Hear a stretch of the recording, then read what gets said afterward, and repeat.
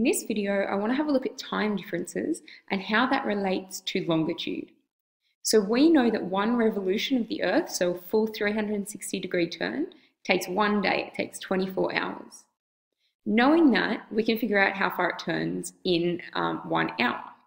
So we know it takes 360 degrees and it takes 24 hours to turn that.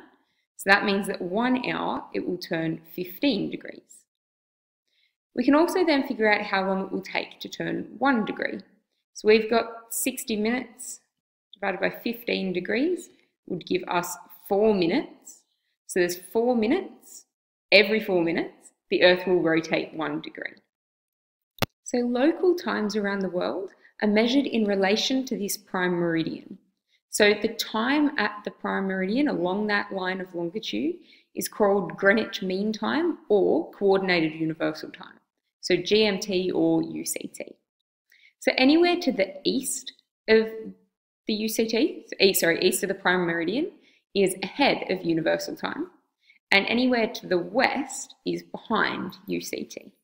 So places over here get the day first, so places like New Zealand um, and Australia get the day early, and places over here like America get the day later.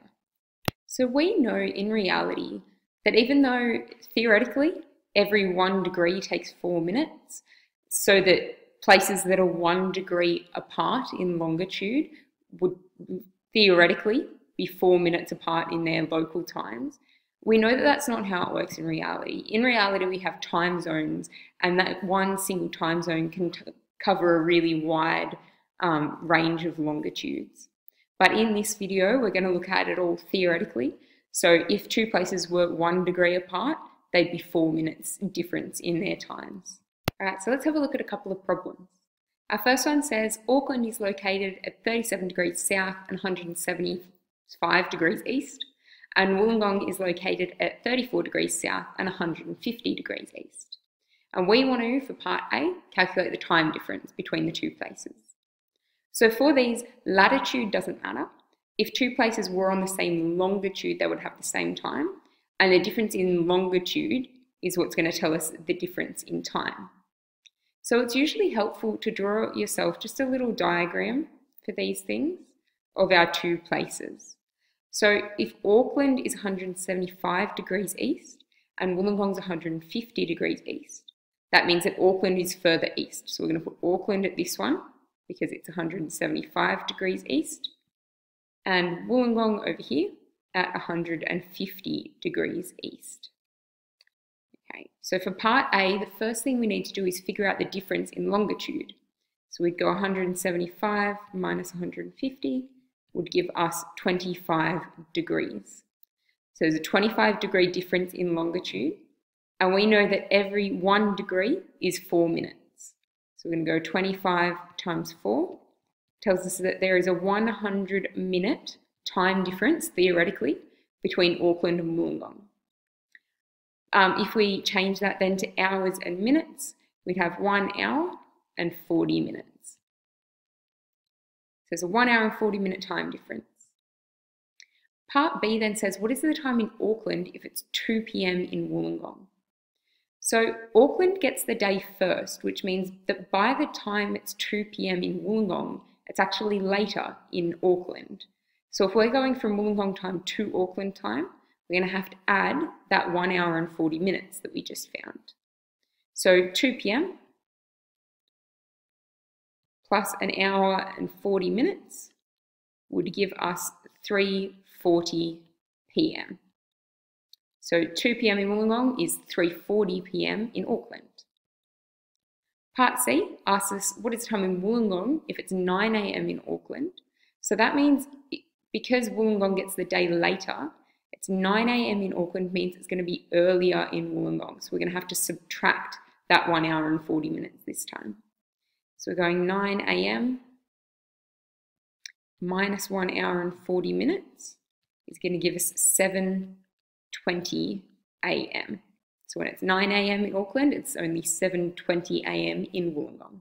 For our second example, it says San Francisco has a longitude of 122 degrees west and New York has a longitude of 74 degrees west. Part A is very similar to what we did in our last example. It just says what is the time difference between the two places. So again, I'd recommend starting just by drawing yourself a really quick diagram. Now, San Francisco is 122 degrees west. New York is only 74 degrees west. So that means San Francisco is going to be here and New York's going to be on this one. So that's 74 degrees west and 122 degrees west. So to find the time difference, we need the difference in longitude. So 122 minus 74 would give us 48 degrees difference. And every one degree is four minutes. So 48 times four would give us 192 minutes, which is equivalent to three hours and 12 minutes difference between San Francisco and New York, theoretically. So part B says, what is the time in San Francisco if it's 4 p.m. in New York? So it's 4 p.m. over here in New York. New York, because it's further east, is going to get the day first, which means it's going to be earlier in San Francisco. So because we're moving west, we're going to have to subtract that three hours and 12 minutes.